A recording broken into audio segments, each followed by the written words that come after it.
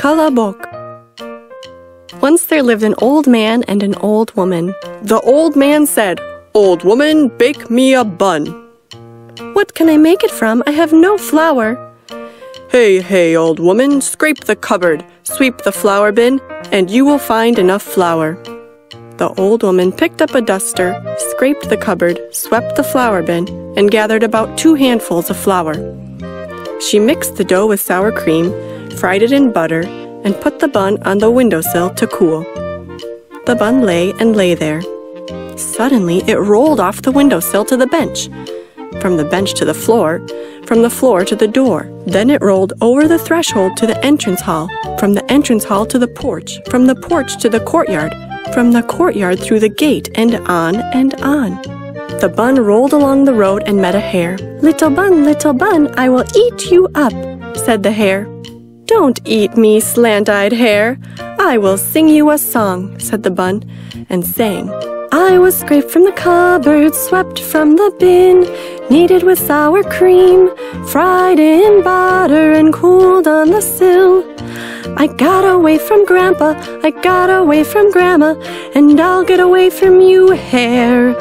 And the bun rolled away before the hare even saw it move. The bun rolled on and met a wolf.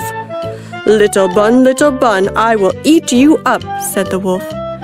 Don't eat me, Grey Wolf, said the bun. I will sing you a song. And the bun sang, I was scraped from the cupboard, swept from the bin, kneaded with sour cream, fried in butter and cooled on the sill. I got away from Grandpa, I got away from Grandma, I got away from the hare, and I'll get away from you, Grey Wolf and the bun rolled away before the wolf even saw it move. The bun rolled on and met a bear. Little bun, little bun, I will eat you up, the bear said. You will not, pigeon toes, and the bun sang. I was scraped from the cupboard, swept from the bin, kneaded with sour cream, fried in butter and cooled on the sill. I got away from Grandpa, I got away from Grandma, I got away from the hare, I got away from the wolf, and I'll get away from you, big bear. And again the bun rolled away before the bear even saw it move. The bun rolled and rolled and met a fox. Hello, little bun, how nice you are, said the fox and the bun sang. I was scraped from the cupboard, swept from the bin, kneaded with sour cream, fried in butter, and cooled on the sill.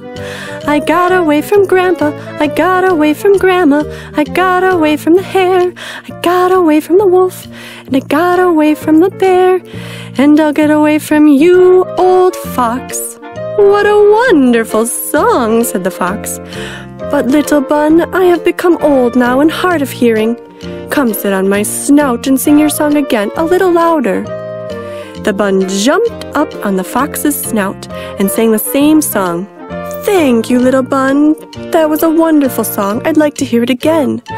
Come sit on my tongue and sing it for me the last time, said the fox, sticking out her tongue. The bun foolishly jumped onto her tongue and snatch! She ate it.